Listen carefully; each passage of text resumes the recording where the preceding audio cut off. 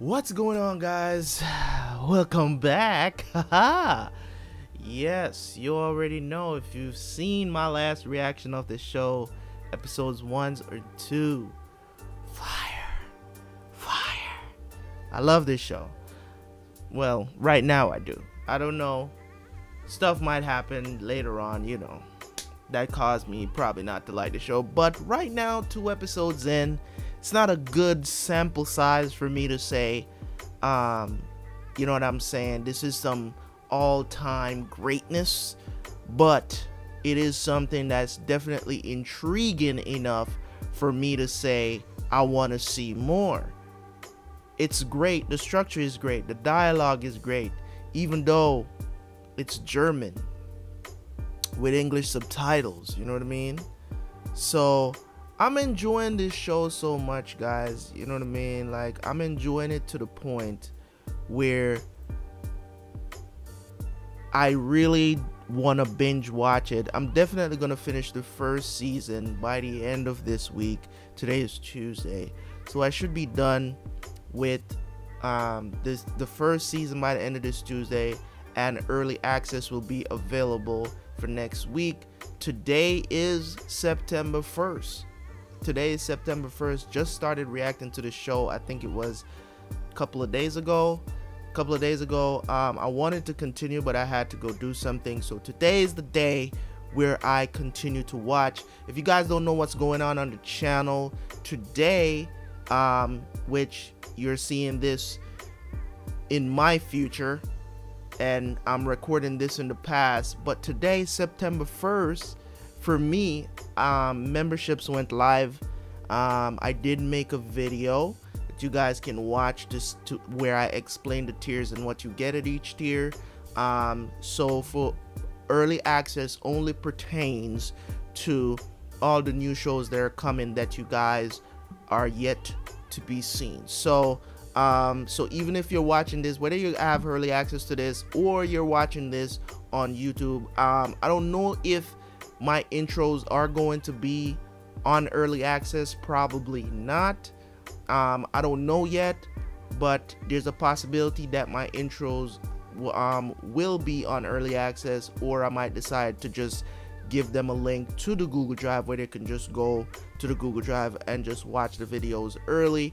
And then one week after that um, the regular um, youtube watchers will get access to my dark reactions. Now, for all the new shows that I'm doing, I haven't announced all of them yet, but your boy is out here reacting like a mofo. You know what I'm saying? But any but anyways, man, we gonna jump into this. This is all about time, and I'm always interested. It's one of my favorite um, story points that anybody could write because it's always when it comes on to time travel it's always a hit or miss when it comes on to series that tackle this kind of storyline it's always a hit or miss I don't know why I'm so intrigued by time travel. I just think it's a very intriguing thing to think about even though you know it's really not it's really not possible only by visual. You can see visual time lapse in real life if you fly out of space.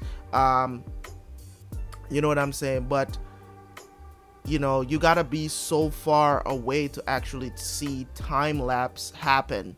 You get what I'm saying? But it is it is a possibility on a visual level, but it's not a possibility where somebody could actually control time, like building a time machine. It makes it so interesting, right? So we're gonna dive into some more dark episode. I'm excited, man, because I'm already loving this series. Even though I gotta read subtitles, and for the first time, you guys actually have to read some subtitles too, right?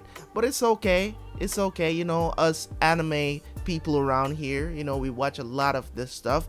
But for our TV show guys, this is probably going to be the first time where I'm actually watching something. I don't I'm not even doing full screen because I don't want to be my big head to be in the way of the subtitles. So we're using a smaller screen for this series. So hope you guys understand that and you're not too mad about it. Um, just understand that I'm enjoying this series. Hope you guys are enjoying it too. Hey man, they show you a, a, a little screen on the on, on the bottom of stuff on YouTube with some cut up reactions, man. You guys got full reactions from me. You know, I don't want to say I'm great, but I am. You know what I'm saying?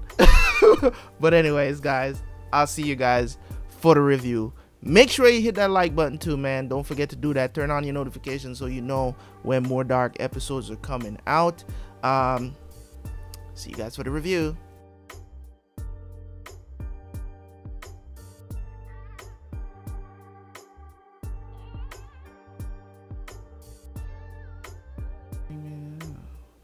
All right, what's going on, guys? Welcome back for the reviews. Episode 3 and 4 is in the books, and my god, what a show, man. As I was saying during the reaction, man, like I've watched basically around four hours, not a complete four hours of the show. Um, so far, so good, but it's like I'm pretty sure at least three hours of the show no dialogue. And I mean I'm I'm enjoying it. Don't get me wrong. It's not like I'm taking a hit at the show. You guys know how much I'm enjoying it. There is no problem there. It just goes to show you how good of a show it is. There's, no, there's pretty much not a lot of dialogue. Much of what they're trying to show you you gotta like visually take pictures of what you're seeing because I know a lot of this stuff is gonna come back around to to to help us to understand what's going on in this story. So when it comes on to to um what's happening in episode three, they kind of showed what was going on with Mikhail and the time period that he ended up in. God introduced us to the, the characters that we know in 2019, what they were doing back then in 1986. Okay, so it was very intriguing to see because we still don't really know anything, and that's why I said I'm confused because at this point there at this point there is no way for you to tell what's happening. You are getting clues and hints but you still can't really connect it to anything. You just kind of know that everything is kind of connected because they keep saying that but you don't know what exactly is going on. Why are you know people from the future showing up in the past um, why did Mikhail get transferred to the past does somebody have a time machine is the time machine with the people at the power plant? What is the importance of the power plant? You get what I'm saying? Why did they show in the past the lady that was the head of the power plant that went down in the cave because they had some secrets and showed all these drums with radiation signs on them? Um, uh, so there's much to talk about, but not much to comprehend. You get what I'm trying to say? Like, you can't really connect anything in the story yet. And that's what's intriguing about it because you're like, I really want to see what happens because I don't want to be left out when when they're connecting all the dots for me. And and there's two more seasons of the show and I'm only 4 episodes in and I'm like, are they going to reveal anything by the end of this season? Probably not. But I hopefully they do at least give us a hint of what's taking place. Is it, you know, it, yo, I would go to drastic measures to find my kid too. So I can't blame, you know what I mean? I can't blame Ulrich. I can't blame him. You know what I mean? There's some issues that he had when he was younger. You know, um, when his brother was missing. Um, so the funny thing is, Mikhail and Mads, they look basically identical. You know what I mean? So Mads is missing. I don't understand how is it that Ulrich didn't look at this kid and be like, man, you look just like my brother. You know what I'm saying? Like, what the hell? You know what I mean? But his brother disappeared when he was a bit older. I mean, when you look at that picture, the picture that that Mikhail put picked up in the police the in the police office, right? When he was in there and he picked up the picture and on the back of the picture it said Mads and Ulrich, right? Nielsen. So if you look at the picture again, right? I could go back and find it, but I don't really want to. It looks just like Mikhail, just a little bit older. So in my opinion, I don't, I don't understand how people are not picking up on these little clues. You get what I'm saying? Um, the scene where he walks into the school and said, "My mom is the principal here," and there's this girl that he was talking to, and I'm like, "Are high schoolers this stupid, or or they're just this dumb and you understand? If it was me, I'm just saying in the context of real life, if you see a kid walk in scuffed up, not the age, they're not supposed to be in the high school, they're supposed to be at their school, shouldn't you try to get help? Shouldn't you bring him to the principal? Call call the police or something because this kid is obviously out of his mind instead of saying this is an 11 year old kid right and you're gonna look at this kid this kid comes up to you and, and looks like he's lost and your reaction is you know you're you know why are you doing acid or something? Why would you make a comment like that? You get what i'm saying? Like why isn't your initial reaction worry when you see a kid in that condition? That's a problem. That is a problem. You know what i'm saying? Like for me i don't care what country you're in and now old you know i know that kids grow up a little bit faster in certain countries but I'm talking from a perspective from a person who's from Jamaica where kids grow up pretty fast. I mean, I was in high school when I was 10 years old, but that doesn't mean that if some if I'm walking through the town, if I'm walking through the town after school and I'm bruised up, at least I'm telling you, at least 10 people is going to stop me to ask me what happened before I get home.